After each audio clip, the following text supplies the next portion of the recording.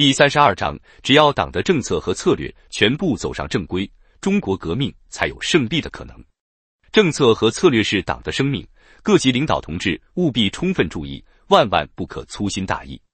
话说，一九四八年二月十九日，毛泽东在李井泉关于老区贫农中农领导地位问题的报告上写了一个批语。他写道：“井泉同志丑灰电析，一吉属已经平分土地，地主富农的封建经济基础已经消灭，只是尚不十分彻底，尚需酌量调剂土地的地区，例如绥德、黄家川那样的地区，即不应再去平分土地，只应采取合理的抽补办法。”满足一部分农民土地上赶不足的要求，在这样的地区再去平分土地是错误的。你们现在采取的政策是正确的，在这类地区，只在农会内部组织贫农小组，保障贫雇农利益，并在农会委员会中，在政权的代表会议及政府中，使贫雇农及新中农共占三分之二的位置，保障他们的领导权，同时使老中农占三分之一的位置。这样做就很好，很适当。在这种贫农占少数、新老中农占多数的地区，也去组织贫农团，硬要指挥一切，这就是冒险的命令主义，是违反全国土地会议的路线的。你们那里的工作团或工作组，如果尚有这样做的，应当停止，将他们调回训练，再去按照具体情况重新做。二，你们那里是否有介乎新区与老区之间的半老区，及土地问题没有解决的，像老区那样彻底？但比完全没有解决或大体上没有解决的新区要好些，或好得多的那种地区，那里的工作方针应当比老区、新区都有所不同。望你加以研究，并将结果电告毛泽东。丑号二月二十日深夜，毛泽东为中央军委起草给刘伯承、邓小平、陈士渠等指示电。刘邓、陈唐、陈谢速留一速部需休整两个月才能出动。刘邓除留三万人在大别山坚持外。四个纵队主力集中杀淮间休整补充，亦需一个月左右时间。伯承暂时不去许昌，而敌孙元良、胡琏南进欲打通平汉路，邱清泉等部向鲁西南违进，并欲打通郑徐段。裴昌会部欲打通正同段。二，因此决定甲陈塘率三八两纵至平汉路西，与陈谢主力靠拢。陈谢受陈塘指挥，在平汉以西、正统以南地区集中十一个旅以上兵力。主动寻求作战机会，在一个月至两个月内，不要盼望和他部配合作战。以十十一两纵在完成护送新兵给刘邓之任务后，暂时即在沙河、陇海、津浦之间机动作战，或破击陇海，或破击津浦，或打其他分散之敌，调动五军等部向南，以利速部休整。该两纵暂时受粟裕指挥，并在刘邓集中整补完毕。并和陈塘、陈谢靠拢，确实建立战役指挥关系以前，陈塘包括陈谢仍受我们指挥，并即提出筹底银出作战计划，电告我们军委。丑号亥二月二十二日，新华社播发了由毛泽东审阅修改过的新华社陕北二十二日电中共中央发言人驳斥杜鲁门原蒋自文的谈话。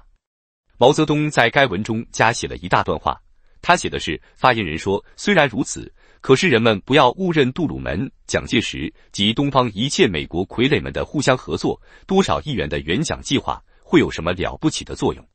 这些合作与援助当然有一点作用，这就是病人临死前的强心剂的作用。现在世界形势已变到与美国帝国主义及各国反动派极端不利，而与世界人民民主力量极端有利的地位。第二次世界大战结束仅仅两年时间之内，整个资本主义世界业绩混乱不堪，并正在走向更大的混乱局面；而世界人民民主势力则有极大的发展，并正在走向更大的发展局面。优势是在民主力量方面，不是在反动力量方面。反动派的金钱和枪炮并不是什么真正的优势。人心讨厌反动派，不赞成反动派，人们团结起来反对反动派，并和反动派做斗争。这个力量才是真正的优势。在蒋介石匪帮发动内战以前，曾经得到美国帝国主义者四十亿美元的帮助，又得到日本一百万军队留下的装备。蒋介石自己有四百多万军队，所有这些和中国人民解放军比较起来，应该算的是优势了。然而，仅仅一年功夫，人民解放军即已打退了蒋介石的进攻，并使自己转入了进攻。这个具体事实。难道还不足以说明，单是金钱和枪炮的优势，单是物质的优势，不能算是真正的优势？而只有人心加物质的总和，只有掌握物质的人们，即是说人民的革命力量，才是真正的优势吗？如果过去如此大量的美国援助，不但不能使蒋介石匪帮得到胜利，而且使他们得到如此严重的失败，那么五亿七千万美元的新借款又会有什么了不起的作用呢？发言人说：“中国人民必须明白，美国帝国主义及其走狗蒋介石是一定要做垂死挣扎的。我们必须准备坚持的斗争，方能最后战胜他们。但是每一次卖国贼与其外国主人的丧权辱国的勾当。”每一次美国反动政府给其中国走狗的新借款，已经激起并且还要激起中国人民的愤怒，这种愤怒将转化为力量，加速蒋介石匪帮的灭亡。二月二十五日，陕甘宁边区政府为原边区政府副主席李鼎铭举行了隆重的追悼大会。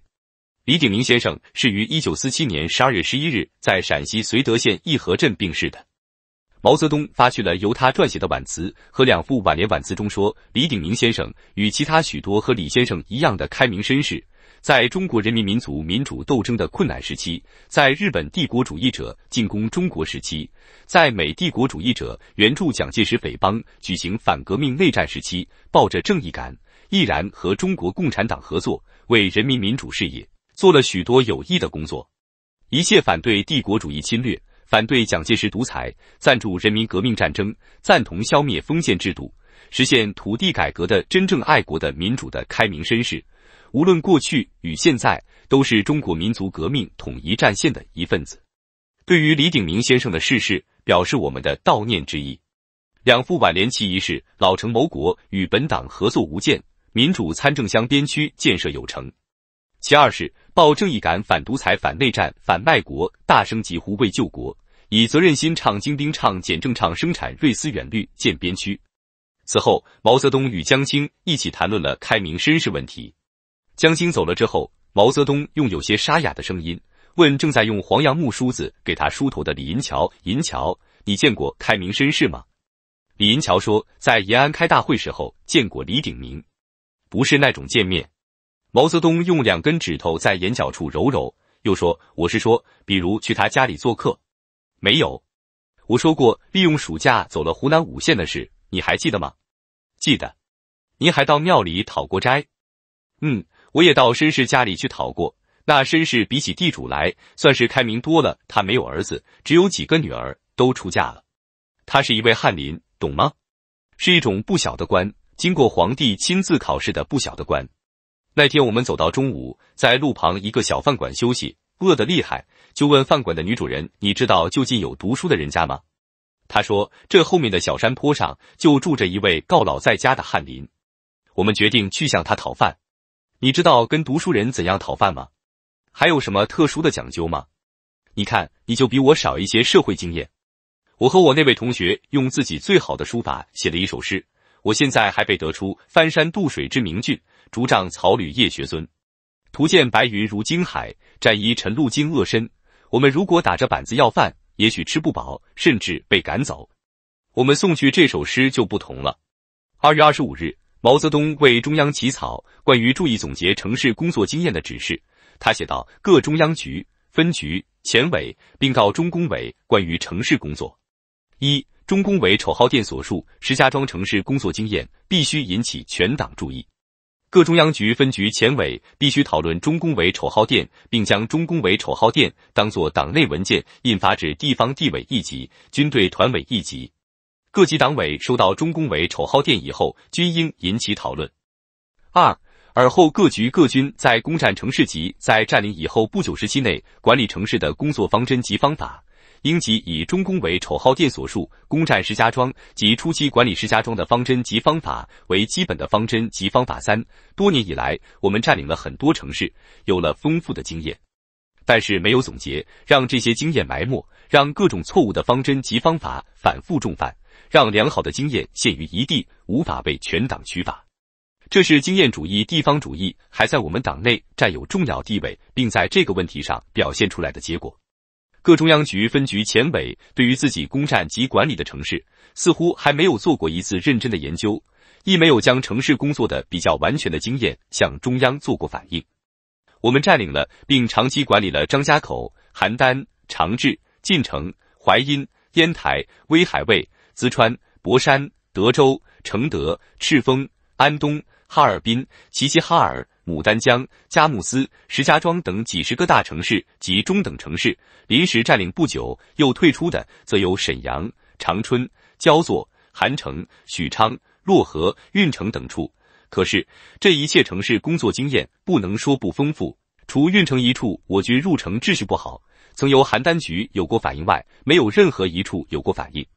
像石家庄这样重要的经验是由中工委总结的。两年前张家口的经验，我们是从中工委的丑号店才看到的。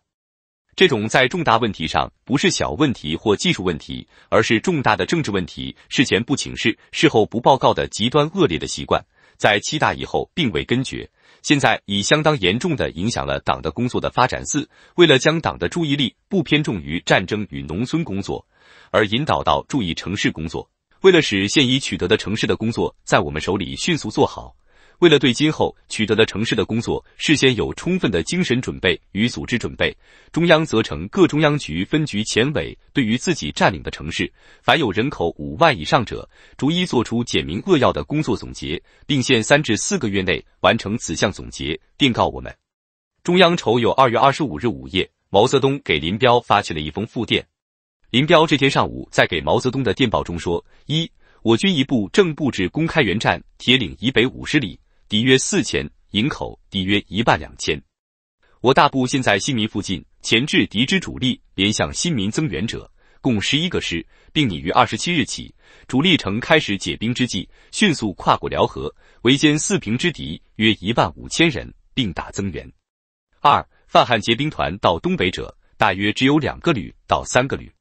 在此种情形下，如我军摆在沈锦之间，则敌必害怕，不敢出来打通铁路，则我军即难寻战机。故现你在四平战斗结束后，将部队摆在四平和吉林、长春之间，一面进行补整，一面防止吉林之敌退击长春。同时，引沈锦间敌人出来，打通交通和分散兵力。三下一攻势，或突然回击北宁县，或攻长春。一当时情况再定。四。我意杨罗阳部队在东北新攻势未发动前，将勿过早来冀东，以免使敌不敢打通北宁路。他们最好在下一次攻势发动时进入冀东，以便造成我们和他们配合打大城市，在没有中小城市可打的情况下打大增援的可能。毛泽东在复电中写道：“林一完全同意二十五日十时电的部署计划。二杨罗阳部及晋察冀野战军司令员杨得志。”第一政委罗瑞卿，第二政委杨成武，笔者注：当照来电所述的时间进入冀东，他们现在尚未建立出冀东的意图与信心。毛泽东二十五日二十四时二月二十七日，毛泽东为中共中央起草了一个关于工商业政策见毛泽东选集的党内指示，全文如下：一、某些地方的党组织违反党中央的工商业政策，造成严重破坏工商业的现象。对于这种错误，必须迅速加以纠正。这些地方的党委在纠正这种错误的时候，必须从领导方针和领导方法两方面认真的进行检查。二，在领导方针上。应当预先防止将农村中斗争地主富农、消灭封建势力的办法错误的应用于城市，将消灭地主富农的封建剥削和保护地主富农经营的工商业严格的加以区别，将发展生产、繁荣经济、公私兼顾、劳资两利的正确方针同片面的、狭隘的、实际上破坏工商业的。损害人民革命事业的所谓拥护工人福利的救济方针，严格的加以区别，应当向工会同志和工人群众进行教育，使他们懂得，绝不可只看到眼前的片面的福利，而忘记了工人阶级的远大利益。应当引导工人和资本家在当地政府领导下，共同组织生产管理委员会，尽一切努力降低成本，增加生产，便利推销，达到公私兼顾、劳资两利、支援战争的目的。许多地方所犯的错误，就是由于全部、大部或一部没有掌握上述方针而发生的。各中央局、分局应当明确提出此一问题，加以分析检查，定出正确方针，并分别发布党内指示和政府法令。三，在领导方法上，方针决定了，指示发出了，中央局、分局必须同区党委、地委或自己派出的工作团，以电报、电话。车骑通讯、口头谈话等方法密切联系，并且利用报纸作为自己组织和领导工作的极为重要的工具。必须随时掌握工作进程，交流经验，纠正错误，不要等数月、半年以至一年后才开总结会算总账、总的纠正，这样损失太大；而随时纠正，损失较少。在通常情况下，各中央局和下面的联系必须力求密切，经常注意明确划清许做和不许做的事情的界限，随时提醒下面，使之少犯错误。这都是领导方法问题。四。全党同志须知，现在敌人已经彻底孤立了，但是敌人的孤立并不就等于我们的胜利。我们如果在政策上犯了错误，还是不能取得胜利。具体说来，在战争、整党、土地改革、工商业和镇压反革命五个政策问题中，任何一个问题犯了原则的错误，不加改正，我们就会失败。政策是革命政党一切实际行动的出发点，并且表现于行动的过程和归宿。一个革命政党的任何行动都是实行政策，不是实行正确的政策，就是实行错误的政策；不是自觉的，就是盲目的实行某种政策。所谓经验，就是实行政策的过程和归宿。政策必须在人民实践中，也就是经验中，才能证明其正确与否，才能确定其正确和错误的程度。但是，人们的实践，特别是革命政党和革命群众的实践。没有不同这种或那种政策相联系的，因此在每一行动之前，必须向党员和群众讲明我们按情况规定的政策，否则党员和群众就会脱离我们政策的领导而盲目行动，执行错误的政策。二月二十七日午夜，毛泽东为中央军委起草了给林彪的指示电，他写道：“林二十六日十三时电悉，对营口起义部队采取查明情况、慎重处理之态度很好。”为整编时，除你们已知之逐步的淘汰坏人、提拔好人及加入我们的人进去等项办法以外，应当一废除原称号，改用人民解放军称号，亦不用民主联军等项称号；二照我军例，有一师人就称为师，有一团人就称为团，不要名不符实，其师长、团长等军官不要升格；三给养不要特别优待，宁可出期较差。逐步升至我军水平。总之，以老实态度对待他们，不用虚名笼络方法。军委二十七日、二十四日、二月二十八日，刘戡率部到达宜川西南地区。此前，西北野战军根据毛泽东制定的围夷打援的战术，首先包围了宜川敌军一个旅，发动了宜川战役。胡宗南令其二十九军军长刘戡率领整编二十七师三十一旅、四十七旅。整编九十师五十三旅、六十一旅，共约两万四千余人，由洛川宜军向宜川驰援。西北野战军发起打援歼灭战，经过二十九日至三月一日三十个小时的激战，将该敌全部歼灭，生俘一万八千余人，毙伤五千余人。此战中，刘戡因突围无望，急电胡宗南说败局已成，然后引爆手榴弹自杀身亡。整编九十师中将师长严明及三十一旅少将旅长周由之、四十七旅少将旅长李达、五十三旅少将副旅长韩芷珍亦被击毙。整编第二十九军少将参谋长刘振士、整编第二十七师少将副师长李奇亨、整编第九十师少将参谋长曾文思被俘。一九四八年三月一日，毛泽东为中共中央起草了关于民族资产阶级和开明绅士问题见毛泽东选集的党内指示。他写道：“中国现阶段革命的性质是无产阶级领导的、人民大众的反对帝国主义、反对封建主义和反对官僚资本主义的革命。所谓人民大众，是指一切被帝国主义、封建主义、官僚资本主义所压迫、损害或限制的人们，也即是一九四七年十月中国人民解放军宣言上明确的指出的工、农、兵、学、商和其他一切爱国人士。”中国现阶段革命的目的，是在推翻帝国主义、封建主义、官僚资本主义的统治，建立一个以劳动者为主体的人民大众的新民主主义共和国，不是一般的消灭资本主义。我们不要抛弃那些过去和我们合作过，现在也还同我们合作、赞成反美奖和土地改革的开明绅士。例如，晋绥边区的刘少白，一九四二年十一月被选举为晋绥边区临时参议会副议长。笔者注：陕甘宁边区的李鼎铭等人，在抗日战争和抗日战争以后的困难时期内，曾经给我们以相当的帮助；而在我们实行土地改革的时候，他们又并不妨碍和反对土地改革，因此对他们仍应采取团结的政策。但是，团结他们，并不是说将他们当作决定中国革命性质的力量来看。决定革命性质的力量是主要的敌人和主要的革命者两方面。我们今天的主要敌人是帝国主义、封建主义和官僚资本主义。我们今天同敌人做斗争的主要力量是占全国人口百分之九十的一切从事体力劳动和脑力劳动的人民。这就决定了我们现阶段革命的性质是新民主主义的人民民主革命，而不同于十月革命那样的社会主义革命。依附帝国主义、封建主义、官僚资本主义，反对人民民主革命的民族资产阶级的少数右翼分子，他们也是革命的敌人；依附劳动人民，反对反动派的民族资产阶级左翼分子，以及从封建阶级分裂出来的少数开明绅士，他们也是革命者。但是这两者都不是敌人或革命者的主体，两者都不是可以决定革命性质的力量。开明绅士是地主和富农阶级中带有民主色彩的个别人士，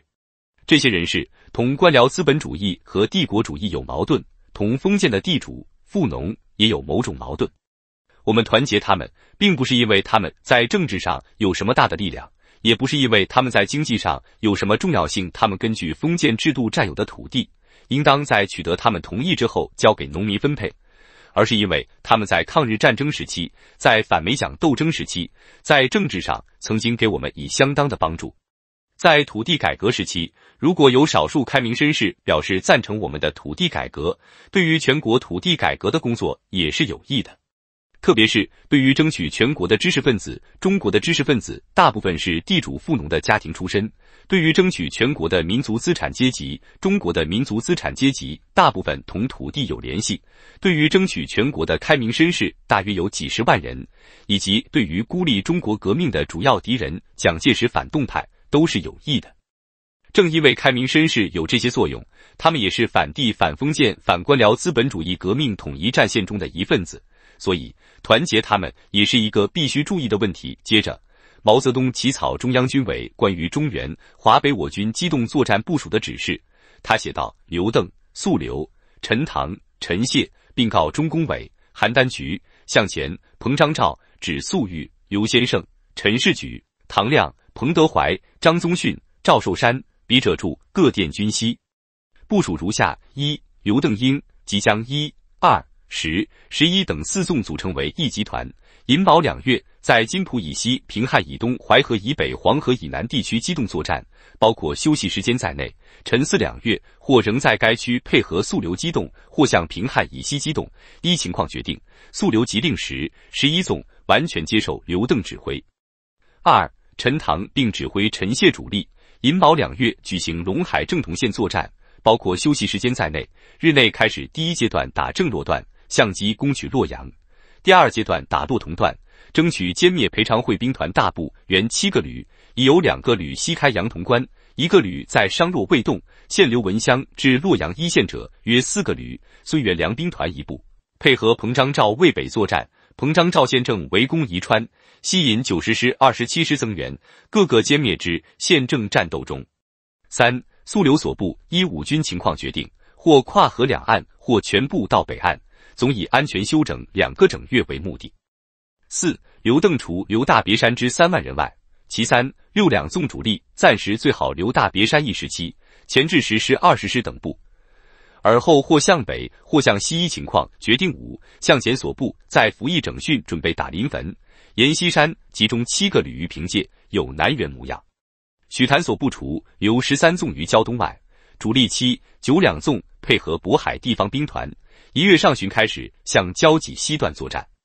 维国清律二纵手下旬由诸城南下苏北，与该地十一、十二两纵合组苏北兵团，加强苏北之作战。东北方面，冬季作战以消灭敌九个正规旅内一个旅起，现正准备攻四平，得手后休整，然后举行春季作战。我东北兵力有很大增强。晋察冀军不久休整完毕，即举行新作战。支柱并告。军委银东三月二日，毛泽东致电彭德怀、张宗逊、赵寿山等人，庆祝西北野战军围城打援、歼灭整编第二十九军军部、第九十师、二十七师等部的巨大胜利。三月三日，西北野战军攻克宜川，歼灭守敌整编七十六师的二十四旅五千余人，少将旅长张汉初被俘。宜川战役胜利结束。此役从打援到攻城，全歼胡宗南主力整编第二十九军军部两个师部。五个旅共约两万九千五百余人。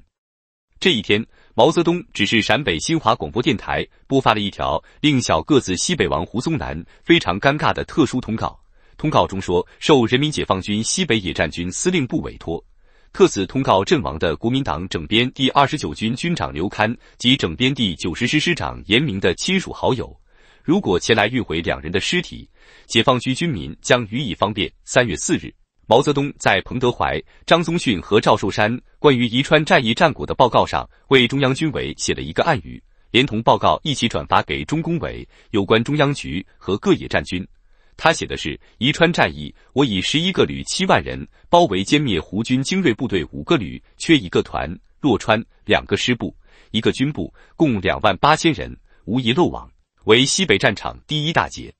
其基本原因在于两个多月的冬季整训。经此役后，胡军除守延安之十七师两个旅，既有豫西开返潼关之第一师约两个旅尚有较强之战斗力外，已无主力。我向渭北、陇南进军之门户业已洞开。军委银之三月四日这一天，毛泽东、周恩来复电在哈尔滨的朱学范。原来朱学范是应中共中央之邀，在一月中旬与刘宁一、于志英一行三人经布拉格、莫斯科于二月八日到哈尔滨的。二月九日，朱学范致电毛泽东、周恩来，他写道：“毛主席、周副主席见，学范已和宁义兄到了哈尔滨。在巴黎时，看到毛主席关于目前形势和我们的任务的报告，范完全同意，并竭诚拥护。”这一彻底粉碎蒋政权、驱逐美帝国主义、实行土地改革、组织真正的人民民主联合政府、完成独立民主和平的革命事业的英明主张，所以范决心到解放区参加这一历史的斗争。范之这一行动不只是我个人的行动，更相信还有不少真正孙中山信徒和广大的爱国人士都要向这一方向前进，并肩作战，在你们的领导下斗争到底，获得最后胜利。仅此向你们致革命敬礼。毛泽东、周恩来在三月四日的电报中写道：“朱学范先生接二月九日电示，西西先生到达哈尔滨，并决心与中国共产党合作，为中国人民民主革命的伟大事业而奋斗，极为佩慰。我们对于先生的这一行动，以及其他真正孙中山信徒的同样的行动，表示热烈欢迎。此致中国人民民主革命的敬礼。”毛泽东、周恩来三月六日。新华社播发由毛泽东撰写的中共中央发言人、平民盟三中全会及国民党革命委员会宣言，全文如下：新华社陕北六日电，中共中央发言人评论：今年一月五日，民主同盟三中全会宣言及国民党革命委员会今年元旦所发表的宣言与行动纲领称，这些文件表示反对美国帝国主义与蒋介石反动统治集团的民族民主运动的统一战线是何等广阔。表示反对美国帝国主义打倒蒋介石集团、没收官僚资本、实行土地改革、建立民主的联合政府的纲领，乃是一切爱国者所公认的唯一道路。这一个纲领，在解放区一万万六千万人口中已经实现，或者正在实现中。人民解放军进攻的继续胜利，将使这一纲领在全国范围实现。中国民族一切爱国的儿女，必须以一切方法。帮助人民解放军坚决、彻底、干净、全部消灭蒋介石匪军，把中华民国从美国帝国主义与卖国独裁的蒋介石匪帮手里挽救出来。发言人指出，毛主席在去年十二月二十五日的“目前形势和我们的任务”报告中说：“我们的新民主主义的革命的统一战线，现在比过去任何时期都要广大，也比过去任何时期都要巩固。”这件事不但同我们的土地政策和城市政策相联系，而且同人民解放军的胜利，同蒋介石由进攻转入防御，人民解放军由防御转入进攻，中国革命已经进入新的高潮时期。这一总的政治形势密切的联系着现在人们看到了蒋介石统治的灭亡已经不可避免，因而将希望寄托在中国共产党与人民解放军身上，这是很自然的道理。中国新民主主义的革命要胜利，没有一个包括全民族绝大多数人口的最广泛的统一战线是不可能的。不但如此，这个统一战线还必须是在中国共产党的坚强的领导之下。没有中国共产党的坚强的领导，任何革命统一战线也是不能胜利的。民主同盟与国民党革命委员会的宣言证实了毛主席的话：任何企图在革命与反革命之间，在民主与反民主之间建立所谓第三条道路的中立地带或中立组织，甚至中立政权，在中国与世界一样都是不可能的。如果有人进行此种活动，实质上必然如国民党革命委员会所说，是美国反动派支持下的第二个反民主政权，绝不能有其他任何作用。我们欢迎民主同盟重建其领导机关，我们欢迎国民党革命委员会的成立，我们愿意在新民主主义的革命事业中和所有一切反帝反封建的民主团体一道，为着共同目的而携手前进。三月六日晚。毛泽东就政策与经验的关系问题复电给刘少奇，他写道：“少奇同志，一筹巧电早期所提各点甚好，已收纳于中央关于老区办老区工作指示中。为政策与经验的关系一点，四应了解为：凡政策之正确与否及正确之程度，均待经验去考证。任何经验实践，均是从实行某种政策的过程中得来的。”错误的经验是实行了错误政策的结果，正确的经验是实行了正确政策的结果。因此，无论做什么事，凡关涉群众的，都应有界限分明的政策。我感觉各地所犯的许多错误，主要的坏人捣乱一项原因，不是主要的，是由于领导机关所规定的政策缺乏明确性。未将许可做的事和不许可做的事公开明确的分清界限，其所以未能明确分清界限，是由于领导者自己对于所要做的事缺乏充分经验，自己没有执行过某种政策的充分经验，或者对于他人的经验不重视，或者由于不应有的疏忽，以致未能分清政策的界限。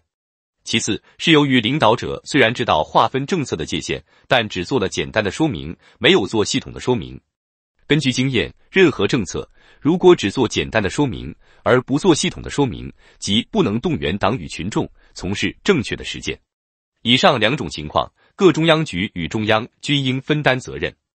我们过去有许多工作，既未能公开的，词典很重要，即是说在报纸上发表，使广大人们知道明确的分清界限，又未能做系统的说明，不能专责被各中央局。我自己即深感这种责任。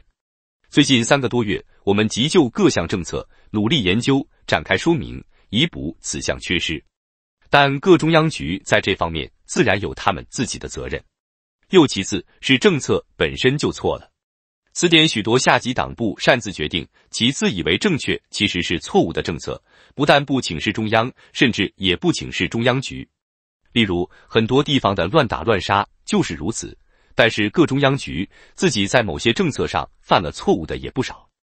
例如计绥分局对于在定成分上侵犯中农，对于征收毁灭性的工商业税，对于抛弃开明绅士，都是自己犯了错误的。但是这类左倾错误犯的比较严重的，似乎还不是晋绥，而是华北、华东、华中各区，从日本投降后开始，投降前也有。晋绥的严重程度似乎还在第二位，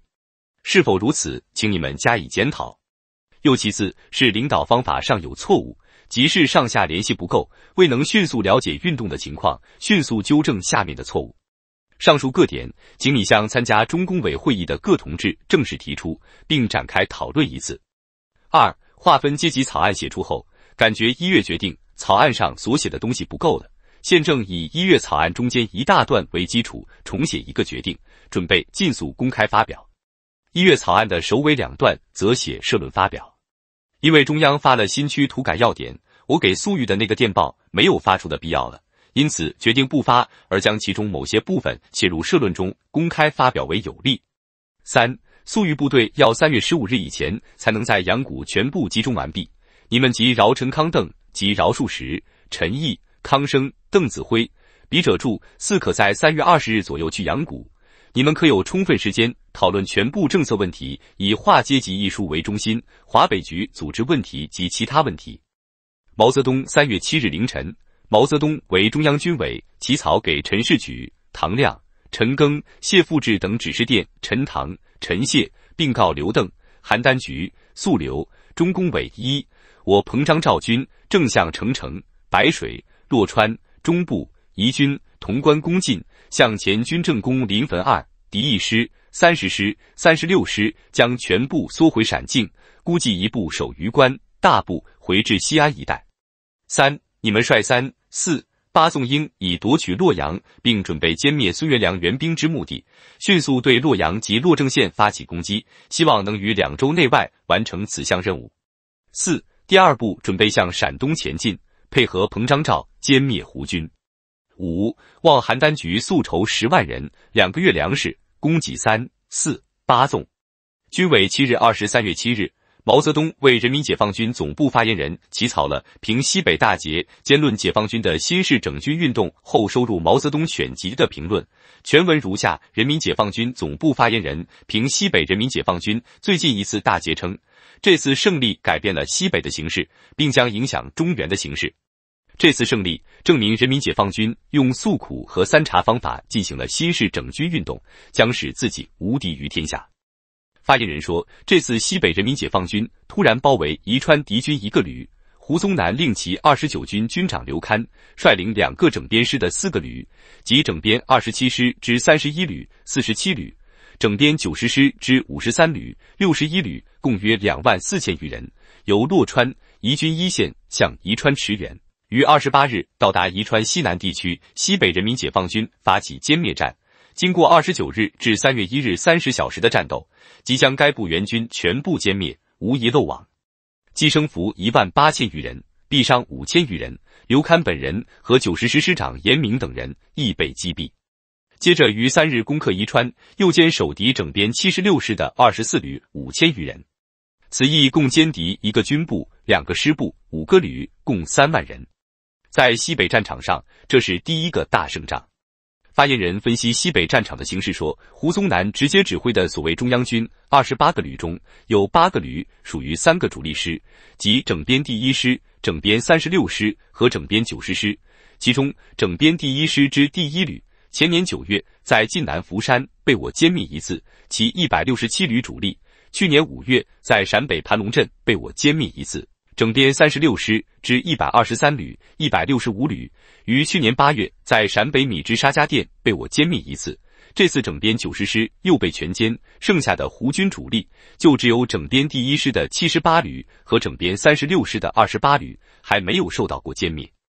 因此，整个胡宗南军队可以说已经没有什么精锐骨干了。经过此次宜川歼灭战。胡宗南过去直接指挥的正规兵力二十八个旅，现在只剩下二十三个旅。这二十三个旅分布在下列地区：晋南临汾一个旅，已成死棋；陕豫边境和洛阳、榆关县有九个旅，对付我陈谢野战军；陕南有一个旅，任汉中一带守备。此外，分布在榆关到宝鸡、咸阳到延安丁字形交通线上的有十二个旅，其中三个是后调旅，全系新兵。被我军全歼新进补充起来的有两个旅，曾被我军给予歼灭性打击的有两个旅，受我军打击较少的五个旅。可以想见，这些部队不但很弱，而且极大部分分任守备。胡军以外，还有邓宝山两个旅防守榆林；宁夏马鸿逵和青海马步芳的九个旅分布在三边和陇东。以上胡、邓、马各部全部正规军。包括过去被歼一次至两次但又补充起来的部队在内，目前总共三十四个旅。以上是就西北敌军态势而言。再说所谓丁字形交通线上受我军打击较少的五个旅，其中两个旅困守延安，三个旅在大关中，其他多数是新补充的部队，少数是受过歼灭性打击的部队。这就是说，整个大关中，特别是甘肃方面，敌军异常空虚，无法阻止人民解放军的攻势。这种形势势必牵动蒋军在南线的一部分部署，首先是牵动其豫陕边境对付我陈谢野战军的部署。我西北人民解放军在此次向南进攻中旗开得胜，声威大振，改变了西北敌我对比的形势，今后将比过去更有效力的同南线各战场的人民解放军配合作战。发言人说：“我刘邓陈粟、陈谢三路野战大军，从去年夏秋起渡河南进，纵横驰骋于江淮河汉之间，歼灭大量敌人。调动和吸引蒋军南线全部兵力一百六十多个旅中约九十个旅左右于自己的周围，迫使蒋军处于被动地位，起了决定性的战略作用，获得全国人民的称赞。我东北野战军在冬季攻势中冒零下三十度的严寒，歼灭大部敌人，迭克名城，威震全国。我晋察冀、山东、苏北和晋冀鲁豫各路野战军都在去年英勇作战，大量歼敌之后，完成了冬季整训。不日又将展开春季攻势作战。纵观全局，说明了一个真理，就是只要坚决反对保守主义，反对惧怕敌人，反对惧怕困难，依照党中央的战略总方针及其十大军事原则的指示，我们就能展开进攻，大量歼灭敌人，打得蒋介石匪帮或者只有暂时招架之功，并无还手之力，或者连招架都没有，只有被我一个一个的歼灭干净。发言人着重指出，西北野战军的战斗力比之去年是空前的提高了。西北野战军在去年作战中还只能一次最多歼灭敌人两个旅，此次宜川战役则已能一次歼灭敌人五个旅。此次胜利如此显著，原因甚多。前线领导同志们的坚决地、灵活的指挥，后方领导同志们和广大人民的努力协助，以及敌军比较孤立。地形有利于我等项都是应当指出的，但是最值得注意的是，在冬季两个多月中，用诉苦和三查方法进行了新式的整军运动。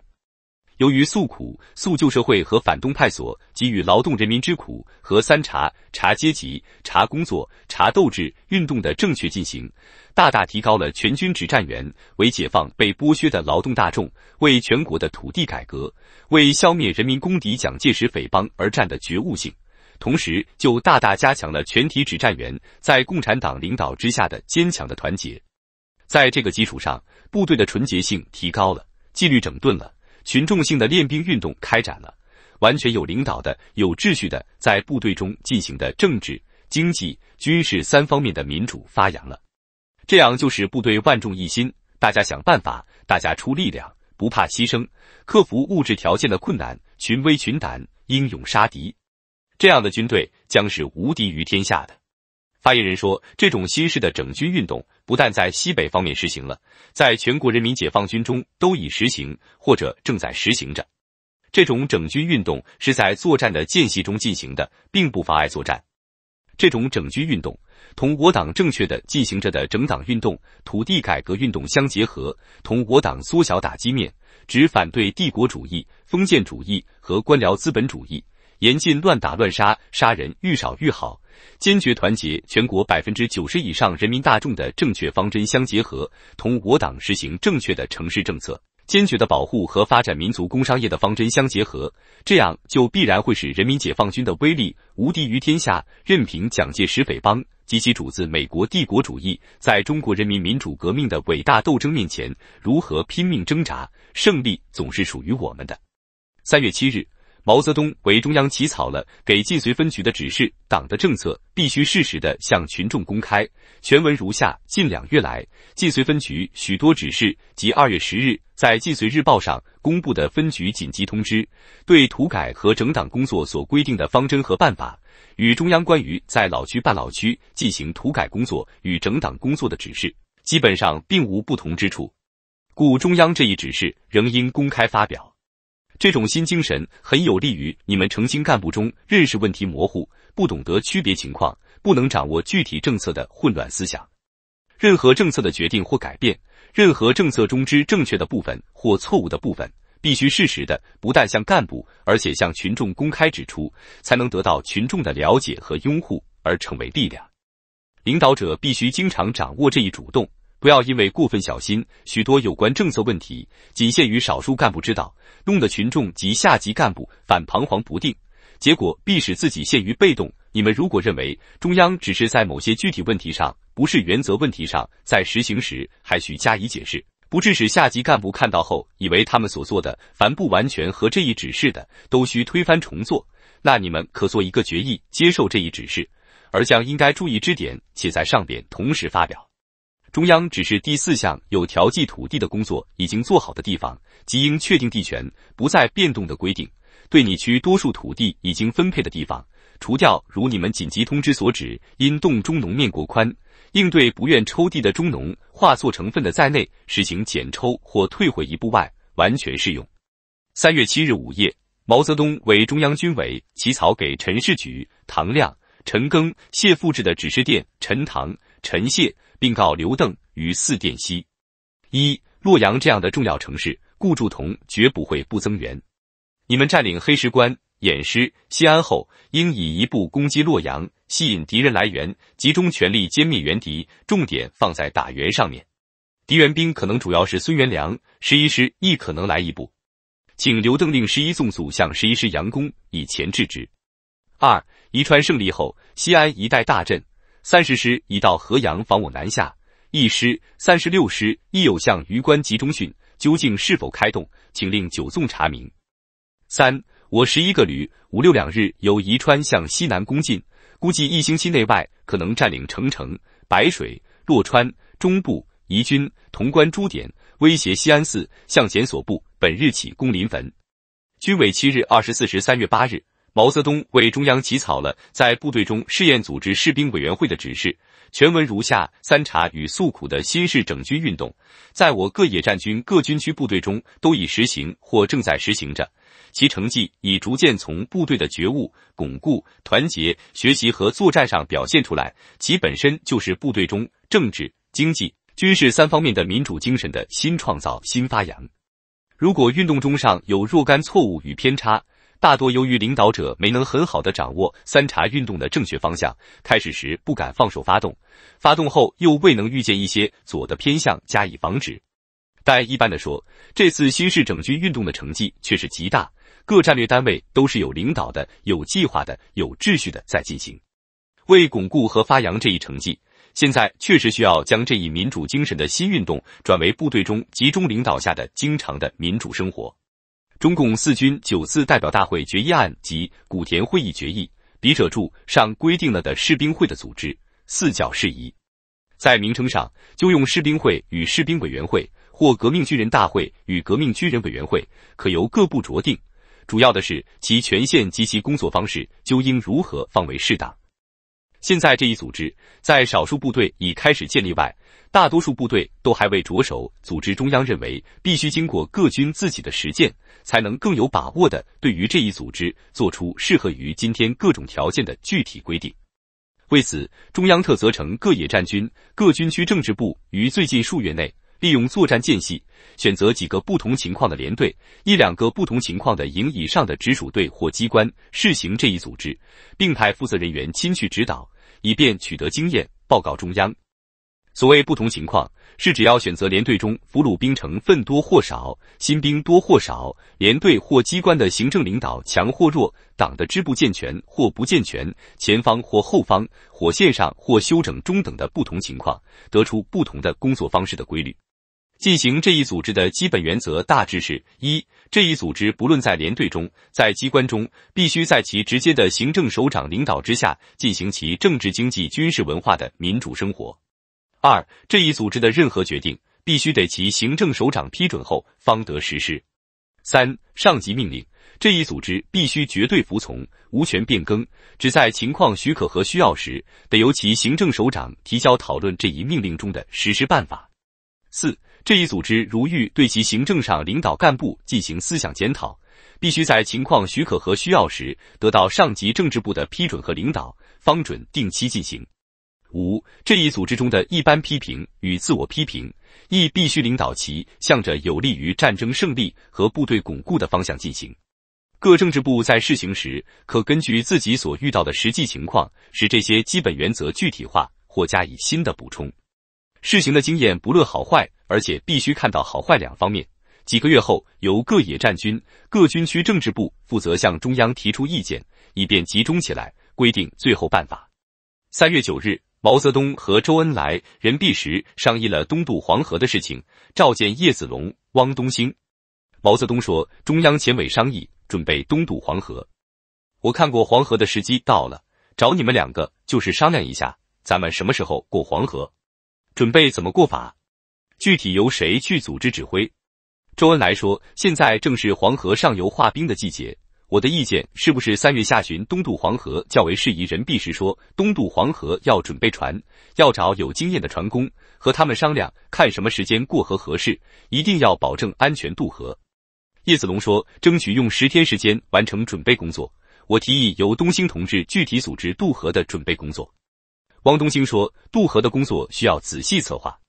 渡船、技术船工、木材，还有粮食。草料、治安工作都离不开当地政府的帮助和支援。毛泽东说：“我同意子龙的意见，由汪东兴组织渡河的准备工作。你们看这样好不好？派给他一个连的兵力，除担任渡河的警卫外，还可以在准备工作中担任劳动力。给他一部电台、一名报务员、一名译电员，随时将准备工作向前委报告。渡河的准备工作对外要注意保密，时刻提高警惕。”防止敌人侦察到我们的动向，我们马上发电报给陕甘宁边区的林伯渠同志，请他派得力的干部协助你。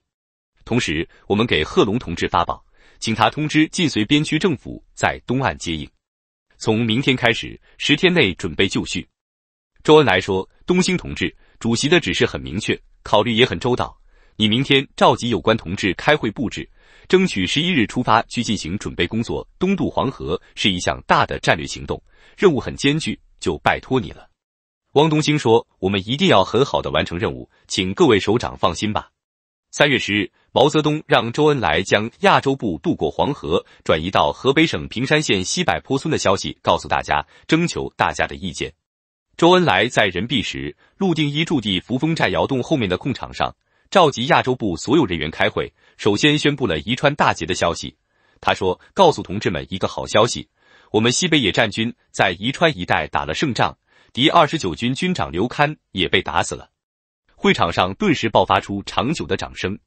周恩来接着说：“同志们都熟悉这个人，他在陕北整整追了我们一年，我们走到哪里他就跟到哪里，梦想搞掉我们中央机关，现在把他自己搞掉了。”本来想活捉他，向他算算账，没想到他自杀了，算是便宜了他。会场上立刻爆发出一阵哄笑声。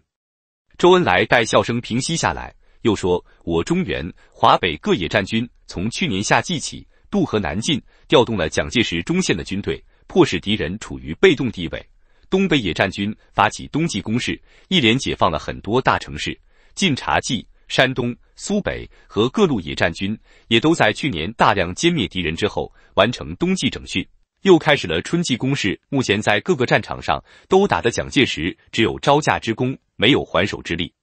全国解放已经为期不远了，同志们，我们的党中央和毛主席准备过黄河到华北去了。人们仿佛不相信自己的耳朵，沉静片刻，立即欢腾起来，鼓掌欢呼。周恩来等大家稍稍平息下来，又说：“现在有两个问题，请同志们考虑：一是目前党中央过黄河是否事实；二是陕北籍同志的去留问题，谁愿意到华北工作，谁愿意留在陕北工作，可以自己提出要求，由组织决定。”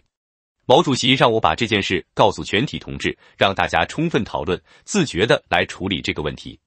陕北籍的同志愿意跟机关走的，我们欢迎；愿意留在陕北的。我们支持，因为陕北也同样需要干部。会后，毛泽东的警卫人员们进行了讨论。他们说，为了迎接全国的胜利，党中央应该到华北去。至于个人去留，大多数人摩拳擦掌要跟着毛泽东走，只有张瑞奇有些犹豫。他一是陕北人，二是年岁大了，有意留在陕北，可又舍不得离开毛泽东。正讨论间，毛泽东推门进来了。大家忙站起来，毛泽东摆摆手，随便找个地方坐下来，问道：“讨论的怎么样？谁想走，谁想留呀？”马汉荣抢着说：“我可不留，我正想跟着主席去见见大世面呢。”毛泽东平时就很喜欢马汉荣，他年轻活泼，好说好唱，从不知道什么叫忧愁。有一次，大家问他火车是什么样子，他想了想说：“火车，火车一定有火。”一句话把毛泽东逗得大笑起来。毛泽东想起马汉荣那句话，就笑着说：“好，我一定让你坐上火车。”毛泽东又看了看张瑞奇，问老张：“你这老陕北打算怎么办？”张瑞奇参军多年，很少回家，三十多岁了，家里也给他定了亲。平时闲扯时，有人问他什么时候回去，他总是吧嗒着小烟袋，不慌不忙地说：“打败了胡宗南再说吧。”现在经毛泽东一问，他竟不知如何回答好了。毛泽东微笑着说：“我听说你想留下，留下也好。陕北是个好地方，我对这里很有感情。我们在这里住了十几年，突然要离开，心里还不好过呢。将来我们也要回来看看的。”张瑞奇说：“我想把主席送到华北，再回陕北来工作。”毛泽东也舍不得张瑞奇这样的老实人，就说：“那就这样吧，先到华北看看，再回陕北工作。”走远些，开开眼界，将来回来工作，也可以把看到的、听到的新鲜事物跟老乡们说说了。三月十二日，毛泽东在谭正文关于山西郭县土地改革的报告上写了一个批语。谭正文，一九一零出生于湖南资兴，一九二七年七月加入中国共产党，一九二八年一月参加湘南起义，后随朱德上井冈山，参加了井冈山革命根据地的斗争。并参加过中央革命根据地第一至第五次反围剿作战中政治保卫工作，又随中央红军进行二万五千里长征。中共七大代表曾被中央晋绥分局派往山西郭县领导开展土改工作，任土改工作团团长兼中共郭县县委书记，写出了山西郭县是怎样进行土地改革的情况报告。毛泽东在该报告上的批语是这样写的：这是山西郭县的一篇通讯。在这个通讯中，说明了那里的群众斗争业已展开，群众对于分配土地业已完全酝酿成熟，在一个农民的代表会议上完成了平分土地的一切准备。那里对于划分阶级成分，曾经划错了许多人，但是已经公开的、明确的经过群众代表的讨论，决定改正。对于不给地主以必要的生活出路，不将地主富农加以区别，侵犯中农利益等项错误观点，做了批判。总之，在这篇通讯中所描述的两个区的农民代表会议上所表现的路线是完全正确的。在作者写这篇通讯时，郭县还没有实行分配土地，因此这个经验还不完全。我们希望在当地实行改正划分阶级中的错误，这是一件大事。实行平分土地以及组织生产、改造政权等项工作完成以后，再有一篇描述这整个过程的通讯，关于如何在农村中进行整党工作。我们有了晋察冀区平山县的典型经验，这是刘少奇同志总结的。关于如何在老区调剂土地，而不是平分土地，因为那里已经平分了的工作，我们有了陕甘宁区绥德县黄家川的典型经验。现在又有了晋绥区郭县这样一个平分土地的经验，虽然不完全，这三个经验值得印成一个小册子，发给每个乡村的工作干部。这种叙述典型经验的小册子，比我们领导机关发出的决议案和指示文件要生动丰富的多，能够使缺乏经验的同志们得到下手的方法，能够有力的击破在党内严重的存在着的反马列主义的命令主义和尾巴主义。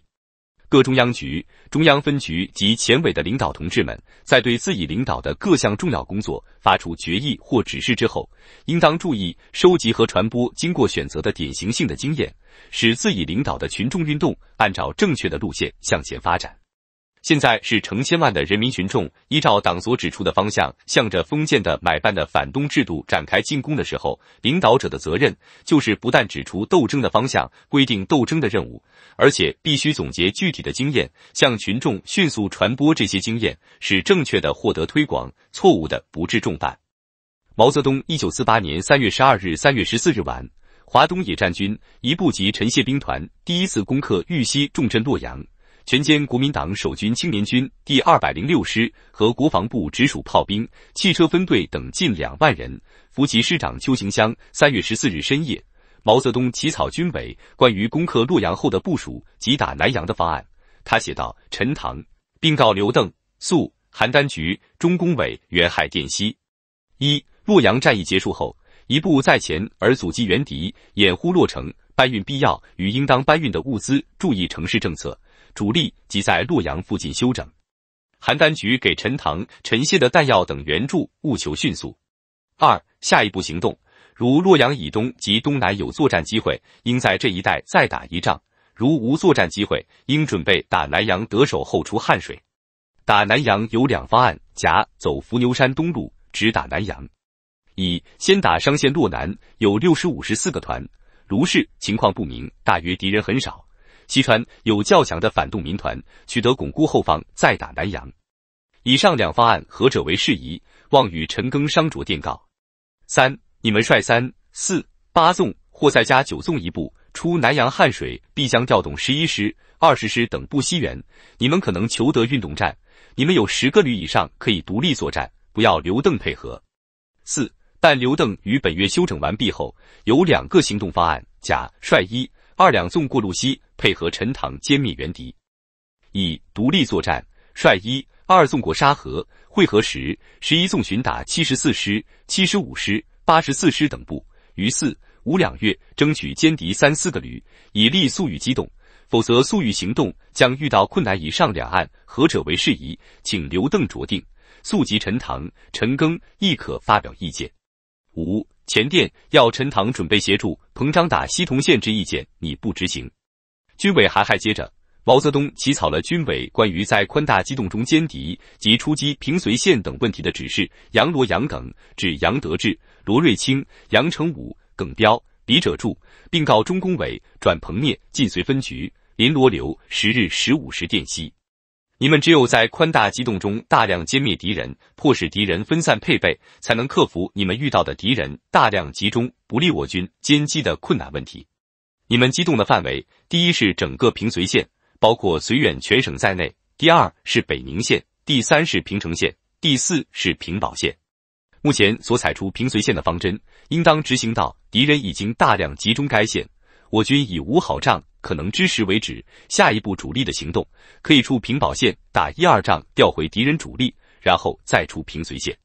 你们拟派两个纵队出绥远的计划是很好的。可令该两纵于攻克柴沟堡一线之后，不要停留太久，迅速出绥远，以绥远全境为活动范围。你军所占地方即归你们管辖，多派干部建立政权，建立地方武装。晋绥分局取协助方针。晋绥分局的主要发展方向是同蒲县沿军地区及协助西北局向陕甘川前进。你们主力必须建立向冀热察交界地区从冀东地区作战的计划。但出动的时机与出动兵力的数量应依情况决定。此外，你们必须向全体指战员进行在新区工作的策略与政策教育。此点不知你们在此次休整中已做了没有？如果没有或不足，你们应在作战中补足之。此种教育极为重要。军委十四日二十四时三月二十日，毛泽东为中共中央写了一个对党内的关于情况的通报，见《毛泽东选集》。他写道：最近几个月。中央集中全力解决在新形势下面关于土地改革方面、关于工商业方面、关于统一战线方面、关于整党方面、关于新区工作方面的各项具体的政策和策略的问题，反对党内右的和左的偏向，而主要是左的偏向。现在的左的偏向主要是侵犯中农、侵犯民族资产阶级。职工运动中片面强调工人眼前福利，对待地主和对待富农没有区别，对待地主的大中小。恶霸非恶霸没有区别，不按平分原则给地主留下必要的生活出路，在镇压反革命斗争中越出了某些政策界限，以及不要代表民族资产阶级的党派，不要开明绅士，在新解放区忽视缩小打击面及忽视中立富农和小地主在策略上的重要性、工作步骤上的急性病等。右的偏向主要是过高的估计敌人的力量，惧怕美国大量援蒋。对长期战争有些厌倦，对国际民主力量的强大的程度有些怀疑，不敢放手发动群众消灭封建制度，对党内成分不纯和作风不纯熟视无睹等。只有党的政策和策略全部走上正规，中国革命才有胜利的可能。政策和策略是党的生命，各级领导同志务必充分注意，万万不可粗心大意。本年内我们不准备成立中央人民政府，因为时机还未成熟。其时机大约在一九四九年，中央亦准备移至华北，同中央工作委员会合并。毛泽东详细通报了人民解放军和国民党军的数量变化和战斗力情况后，接着写道：一九四六年七月至一九四八年一月的十九个月中，我军共消灭国民党军队一百九十七万七千人。二月和三月上半月尚未统计好，大约有十八万人左右。即是说。国民党不但将其在过去作战期间所动员参军的一百余万新兵消耗了，而且大量消耗了他原有的兵力。五年左右，一九四六年七月算起，消灭国民党全军的可能性是存在的。三月二十一日，毛泽东致电彭德怀，他在电文中写道：“德怀同志，一，我们本日动身东移，约卯山可至中工委所在地。二，不论现在打洛川，将来打延安，敌均有增援可能，望部署打援。三，陈塘指挥陈谢已放弃洛阳，集结新、缅、宜、洛休整一时期，或打南阳，或打平汉线，或再打洛阳，尚待决定。向前克临汾后，或打豫北，或打平界陵时，那时再定。总之，陕甘全局，除陈谢一个旅在陕南外，由你们独立担任。毛泽东饮马，三月二十一日下午一时许，毛泽东率领亚洲部从生活战斗了一百二十多天的杨家沟出发，开始了长途跋涉之旅。此时天气晴朗，杨家沟的山峁上、沟畔上、大路旁站满了欢送的人群。毛泽东、周恩来、任弼时挥手告别了送行的人群，踏上了东渡黄河的行程。毛泽东对严长林、李银桥说：“要去河北了，你们河北人一定高兴啊！”这天晚上，毛泽东率亚洲部宿营在绥德集镇。三月二十二日，毛泽东为军委起草给刘伯承、邓小平、陈士渠等的指示电，他写道：“刘邓、陈唐、陈赓，并告陈粟、钟公伟、彭章照各电军西，部署如下：一、陈唐指挥陈赓率三、四、八纵休整至卯威止。”修整地点或在现地，或照刘邓意见移至临汝、益阳，争取补充。首先是受损最大之八师，卯威至卯辉间开始向南阳方向行动，或先打南阳，后打皖西四县；或先打皖西四县，后打南阳。临机决定。二、刘邓率一、二、十、十一纵及其他可能集中之兵力，在沙河、淮河及平汉线之间机动作战。三两军互相声援，独立作战，必要时由刘邓决定以一部或全部配合作战，争取于卯辰两月歼敌三五个旅，变动战局，协助粟裕行动。在配合作战及互相策应时，陈塘受刘邓指挥。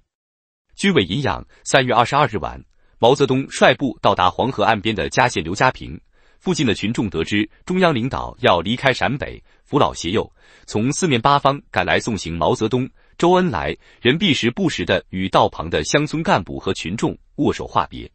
毛泽东深情地说：“陕北小米子，我吃了十三年，实在不愿意离开这个地方。但是为了全国的解放，我们又不得不离开。”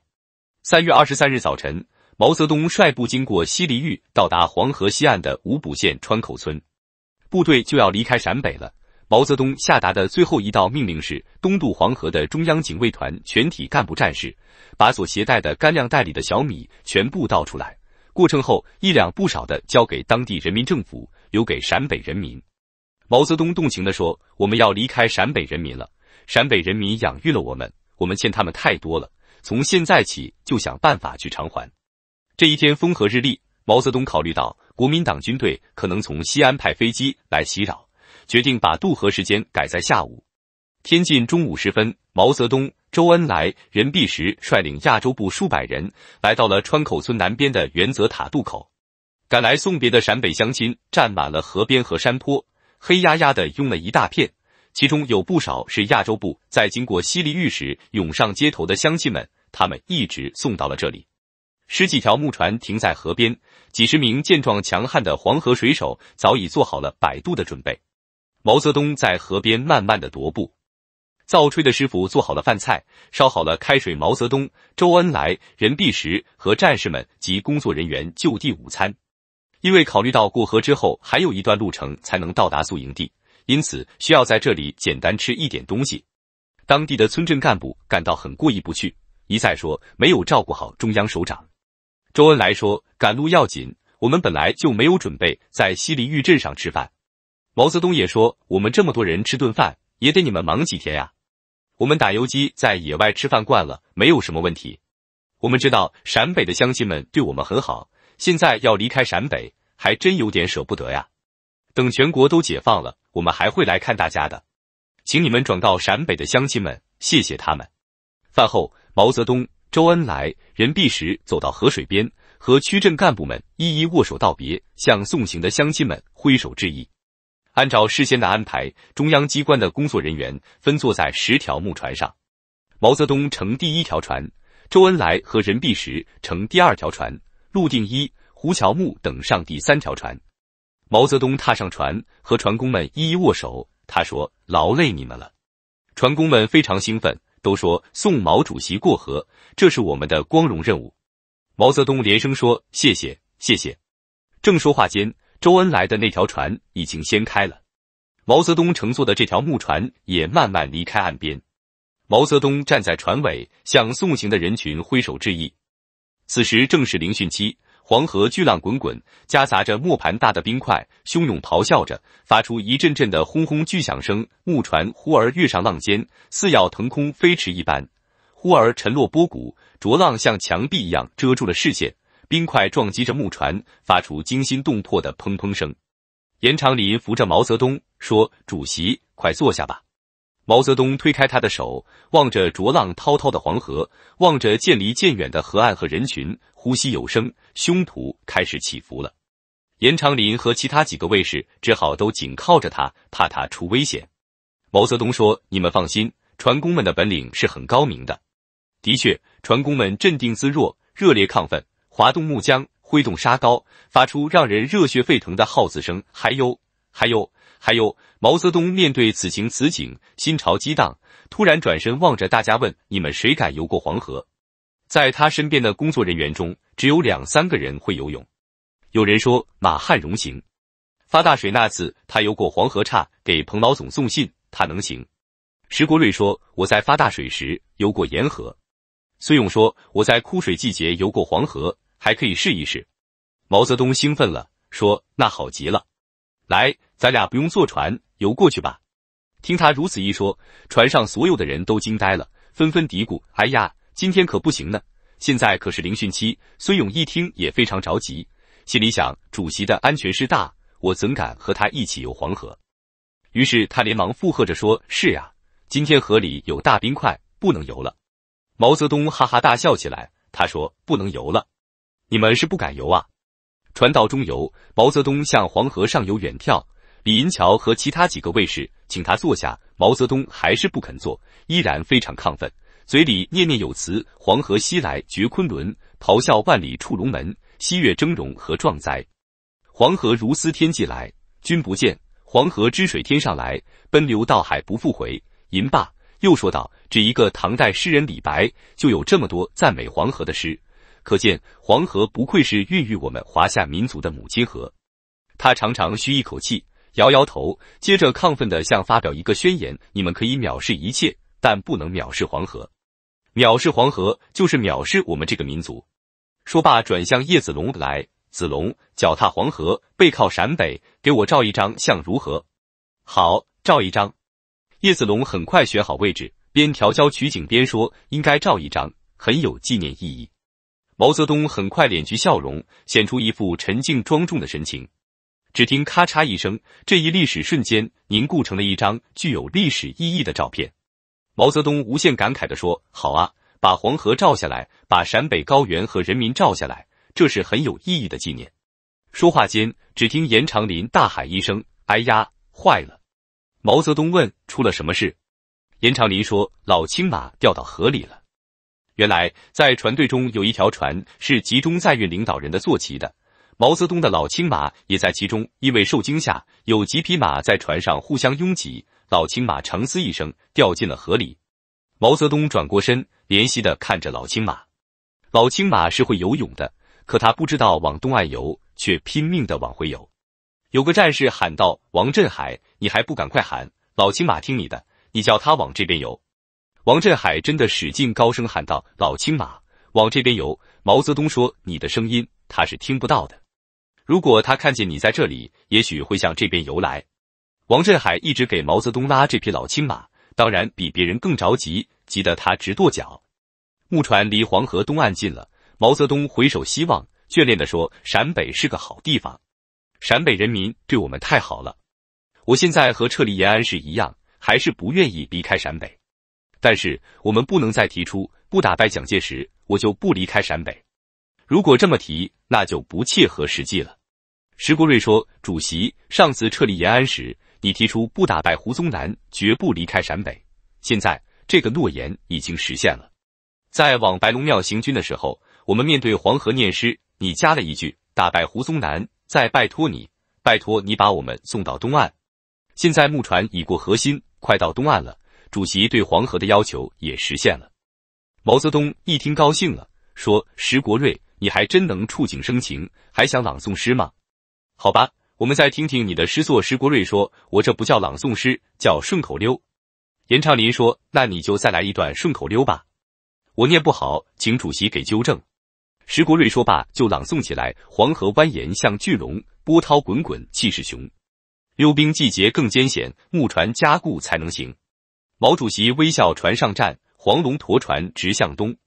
船到东岸齐欢喜，今天黄河立新功。